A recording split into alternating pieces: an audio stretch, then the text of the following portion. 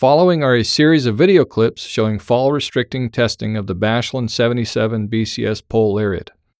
All testing was completed with a 300 pound rigid weight. The weight was suspended 12 inches away from the pole to approximate a lineman's position. A quick release device was used to replicate the lineman cutting out of a pole. A lineman's tool belt is positioned around the weight. The belt is secured to the pole lariat using D loops. This testing was completed on a dry pole that was pretty chewed up. The pole measured 32 inches around the point of release. The condition of the pole, including moisture and ice, will affect the performance of the pole lariat. This test is not to any specific standard either currently in effect or proposed. Rather, it is meant to illustrate certain capabilities of the pole lariat for the lineman using the device. Test number one. The pole lariat is positioned 12 inches above the attachment point of the tool belt, with the parking tab moved back against the adjuster. This would be similar to leaning back into the device. The pole lariat will be stationary when it is released. Note, the pole lariat did not move. Fall restriction was immediate. Test number two.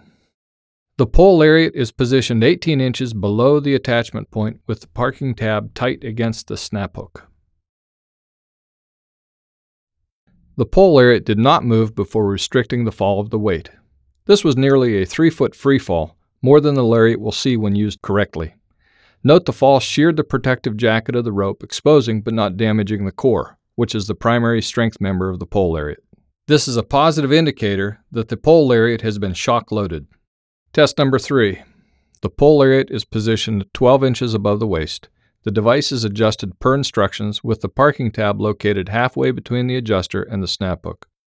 The pole lariat will be moved down the pole before the weight is released, simulating a lineman climbing down the pole. The pole lariat moved approximately 18 inches before it tightened and restricted the fall of the weight.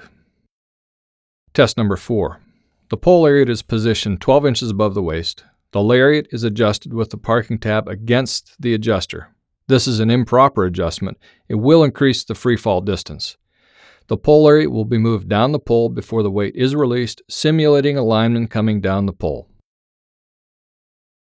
The pole lariat moved approximately 40 inches before it tightened and restricted the fall of the weight. When using the pole lariat, keep the device waist high or above when climbing or descending. Proper adjustment is imperative for performance. Or more to the point, if the pole lariat is too loose, it may not restrict your fall. The friction adjuster must be no more than 6 inches from the pole and the parking tab halfway between the pole and the adjuster. You may have to shorten your steps a little when you climb. Be conscious of the taper of the pole, adjusting the pole lariat as you go up. On smaller poles, care must be taken to maintain the proper adjustment. Keep the pole lariat as tight as possible. Use the parking tab to keep the pole lariat tight when resting below the waist, always keeping the pole rope as short as possible to reduce the potential free fall. Practice with a fall restricting device of your choice and integrate it with your normal work procedures until using it becomes second nature. Continue to develop your climbing skills. These devices will not help you if you leave them hanging in the bin of the truck. But don't put all of your trust in this or any other device designed to restrict falls. Learn to climb so you can trust your hands and your feet. This will make you more confident and productive. Gravity is terribly unforgiving.